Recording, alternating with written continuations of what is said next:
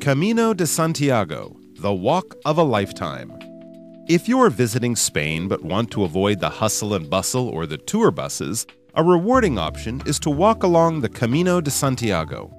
It comprises several routes that wind through some of Spain's most picturesque towns before ending at Santiago de Compostela. In the Middle Ages, Santiago de Compostela was considered a holy city, thought to be the final resting place of St. James, one of Christ's 12 disciples.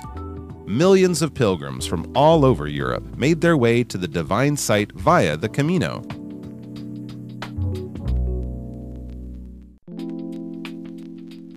Today, the Camino's most popular route is the French Way, as it passes through several key towns. The first is Pamplona, known for its Running of the Bulls festival, medieval cathedrals, and atmospheric cafes. Next, there is Leon, an architectural gem that combines first century Roman ruins and modern buildings such as Casa Botines, designed by Antoni Gaudí.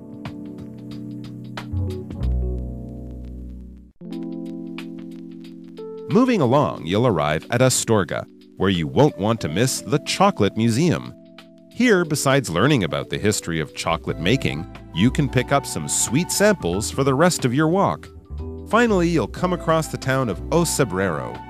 Its hobbit style houses make the town look like something right out of The Lord of the Rings.